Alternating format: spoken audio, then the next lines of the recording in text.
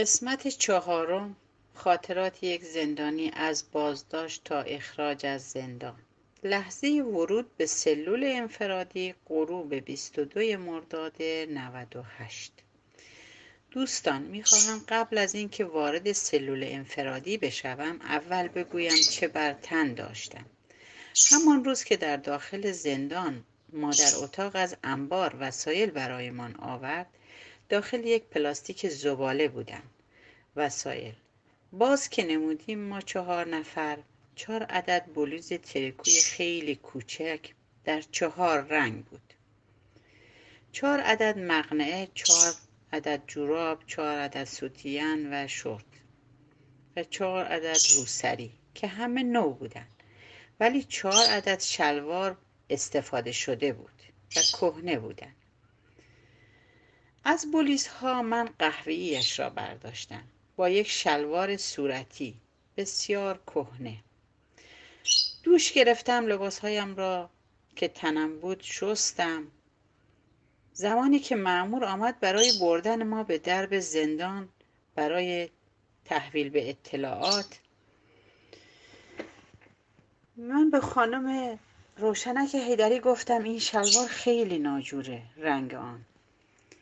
چون شلوار خودم خیس بود. آیا شلواری که رنگ آن تیره باشد ندارین؟ بین دو ردیف تخت حدود هشتاد سانتی فاصله بود که جلو آن را یک پرده زده بودند. خانم هیدری به آن قسمت رفت و یک پلاستیک زباله بزرگی را بیرون آورد که تعدادی لباس استفاده شده داخل آن بود.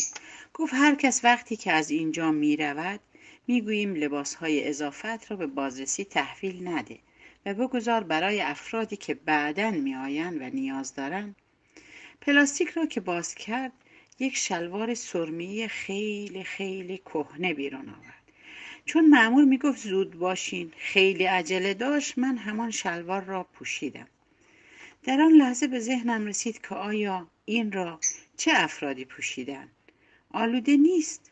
که با خودم گفتم بی خیال بپوش که دیر شده معمور وقت نداره که تو بگردی و شاید لباس مناسب تری پیدا کنی. بالاخره آماده شدم. بلوز ترکوی چسبیده به بدن در 22 مرداد ماه. شلواری که معلوم نبود سالهاست استفاده شده بود. جوراب های نو مقنعه خودم این را هم بگویم که در آن دو روزی که در بند پنج بودیم به ما چادر هم ندادند و ما از چادرهای افراد آنجا استفاده می کردیم برای نماز خواندن.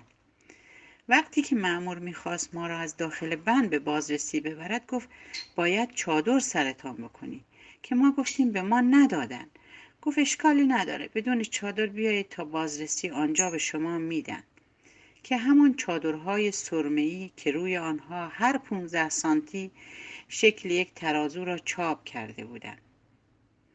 را بر سر ما کردند که هنوز هم برای من سوال است که آن همه ترازو روی چادرها و پتوهای زندان و اطلاعات یعنی چه؟ و این ترازوها چه چیزی را میرساند؟ ما بماند. بعد از اینکه چند دقیقه در راهروهای اطلاعات معمور آنجا مرا دور داد یک جا بود که گفت بایست که متوجه شدم قفلی را باز کرد.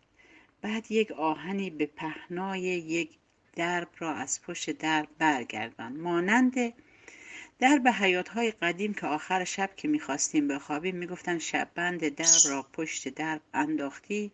چون وقتی آن را پشت درب میانداختیم دیگر درب باز نمی‌شد. ببخشید دوستان خواستم اون آهن پشت درب سلول را به درستی وصف کنم. آهن را که از پشت درب کنار زد درب را باز کرد و گفت آهسته برو داخل مواظب باش که پات به کم درب گیر نکند. مرا که به داخل برد چشبندم را گفت بده. چشبند را از من گرفت و خیلی سریع درب را بست.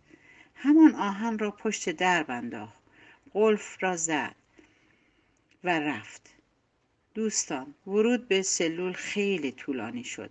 برای این قسمت کافی است. ادامه باشد در قسمت های بعدی. سی خرداد 99 فاطمه سپهری مشهد.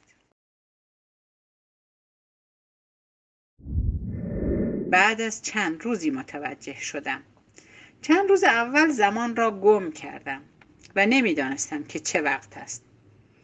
که روز دوم نماز صبحم را ظهر خواندم بعد برای اینکه بتوانم تا حدودی زمان را گم نکنم از روی آوردن غذاها دنبال کردم که حالا پنیر یا کره آوردن صبح است بعد در وعده ظهر معمولا غذا برنجی بود و شب غذا با نان سرو می.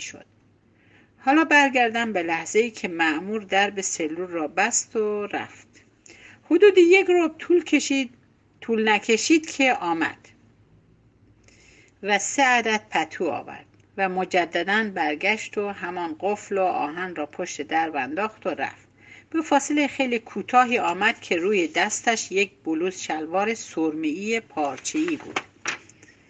گفت تمام لباسهایت را در بیاور اینها را بپوش. که من از دستش گرفتم نگاه کردم و گفتم اینها کش نمی آورن و به تن من نمی شون.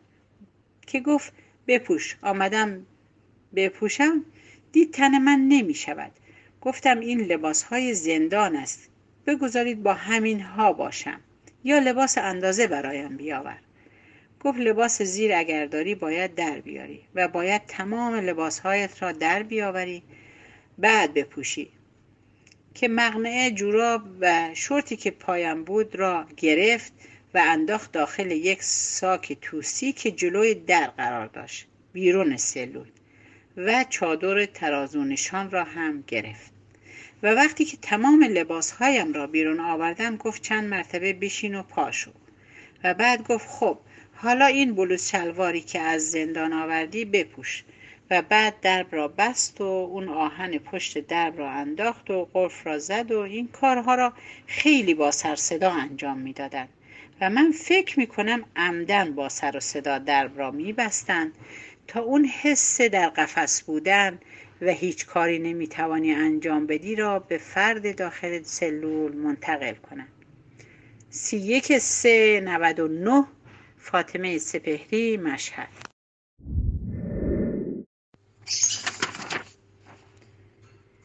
خاطرات یک زندانی از بازداشت تا اخراج از زندان قسمت ششم. خواندن نماز مغرب و عشا در روز 22 مرداد 98 در اطلاعات. آوردن شام و خوابیدن در سلول انفرادی در شب اول. بعد از اینکه معمور چادرم را گرفت و رفت کمی نشستم. بعد بلند شدم و آهسته روی درب کوبیدم.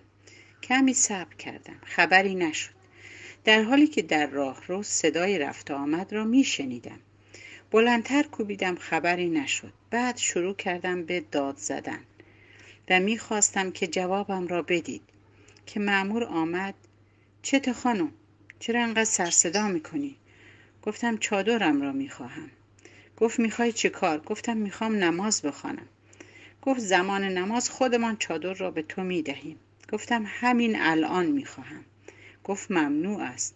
در را بست و رفت. که من شروع به فریاد کردن نمودم و می گفتم خدا لعنت کند کسی که مرا اینجا آورده. نیم ساعتی طول کشید که همان معمور آمد. چون در این مدت من ساکت نشدم. درب را باز کرد. گفتم همین الان چادر و یک قرآن برایم باید بیاوری. کمی در چهره من نگاه کرد و مجددا درب را بست و بعد از ده دقیقه آمد و چادر و قرآن آورد. همان چادر ترازونشان را. گفت بعد از نماز می آیم که چادر را بگیرم. من چیزی نگفتم. در را بست. من هم رفتم. بزو گرفتم. آمدم که نماز بخوانم. هرچی نگاه کردم قبله را مشخص نکرده بودم. به سنگ دستشویی نگاه کردم. از چهار جهتی که وجود داشت دو جهت را که سنگ دستشویی بود حذف کردم. بعد گفتم اگر پشت این دیوار 80 سانتی بیستم رو به دستشویی می شود. پس باید پشت به آن بیستم که ایستادم و نماز خواندم. بعد از نماز داشتم قرآن می خواندم که معمور آمد شام آورد. در را که باز شد من فقط نگاه می کردم. گفت بیا غذایت را بگیر. گفتم نمی خواهم. گفت حالا بگیر شاید بعدا خواستی. که گفتم نمی‌خواهم ببر. که آمد داخل, داخل. یک ظرف یک بار مصرف ده در 15 سانت بود بدون درد. عدسی داخل آن بود. گذاشت روی زمین و یک تکه نان بربری که نان را روی پتو که قسمتی از نان روی زمین بود گذاشت. گفتم لطفا ببرید. گرسنه نیستم. لطفا ببرید. که برد. پتوها خیلی کهنه بودند و کوچک. یکی را دلا نمودم برای زیرانداز یکی را لوله کردم به عنوان بالش و دیگری را رو انداز. وقتی که آمدم بخوابم خیلی سرد بود. آن چادر ترازو نشان را هم روی بدنم انداختم. بعد پتو را کمی گرم شدم. ولی خوابم نبود تا صبح. از آن صبح درب را کوبیدم. از آن از داخل راهرو در سه نوبت پخش می‌شد. مأمور آمد درب را باز کرد. چته خانم چرا سر صدا می‌کنی؟ بقیه خوابن. گفتم الان صدای از آن همه را بیدار کرده. من بعد از پخش از آن درب را کوبیدم. گفت چی می‌خواهی؟ گفتم خیلی سرد است. میشه کولر سلول مرا خاموش کنی؟ گفت خیر همه سلول ها با, با یک کلید روشن و خاموش می‌شوند. بقیه گرمشان است. و رفت. دوی تیر 99 فاطمه سپهری مشهد.